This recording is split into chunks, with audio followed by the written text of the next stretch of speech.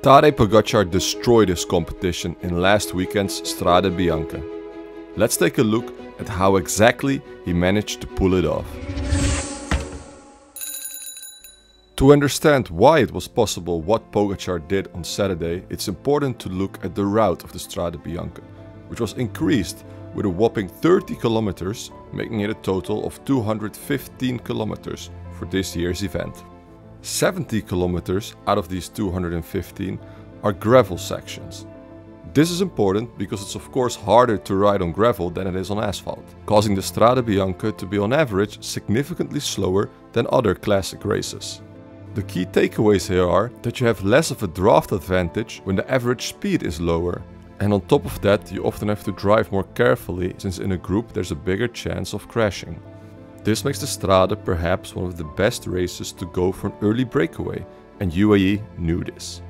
From the start they put on an excruciating pace, reducing the peloton to only a very small group of riders. And then, when Tim Wellens steps on the gas, UAE's plan all comes together.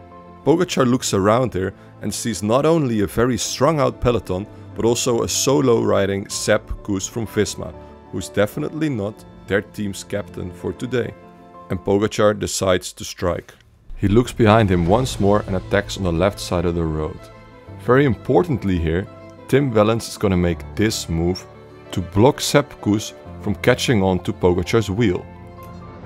This only gives Pogacar a 1 or 2 meter advantage, but in the end this is enough to make Sepp Kuss say, hey, I'm not chasing after the strongest rider in the world right here, I'm gonna wait for my own teammates. And that's really all there was to it. Just a small escape from Pogacar and there was no way of catching him anymore. A big part of his success here is that most of the riders in the group behind him did not have any teammates around them.